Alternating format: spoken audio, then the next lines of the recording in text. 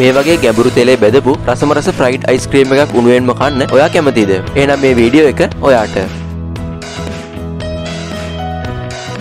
ඔයා තාමත් අපේ සබස්ක්‍රයිබ් කරලා නැත්නම් දැන්ම සබස්ක්‍රයිබ් කරන්න. සාමාන්‍යයෙන් අයිස්ක්‍රීම් කියන්නේ ගොඩක් සීතලට කන කෑමක්. පොඩි වෙලාවක් එළියේ තිබුණම ඒව දිය වෙනවා. ඒත් මේ විදිහට ගැඹුරු තෙලේ බෙදලා උණු උණුවෙන්ම අයිස්ක්‍රීම් කනවා කියලා ඔයා කවදා හරි අහලා තියෙනවද? මේවා හදන්න නම් මුලින්ම මේ විදිහට හදපු අයිස්ක්‍රීම් බෝල සෙල්සියස් අංශක ඍණ පහ වගේ ඉතාමත් පහළ උෂ්ණත්වයකට සිසිල් කරගන්න ඕන. ඊට පස්සේ ඒව වටේට විශේෂ තැවරුමක් තවරනවා. ඒක පාරිභෝගිකයාගේ කැමැත්ත අනුව තෝරගන්න පුළුවන්.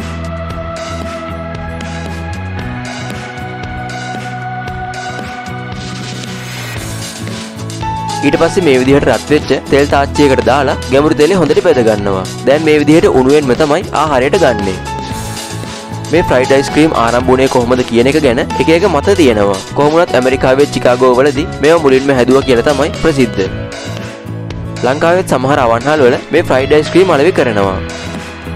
ඉතින් මේව කාපු කෙනෙක් ඉන්නවනම් ඒවයි රස මොන වගේද කියලා පල්ලහෙන් කමෙන්ට් එකක් දාන්න. ඒ වගේම අපේ YouTube channel එක subscribe කරන්න අමතක කරන්න එපා.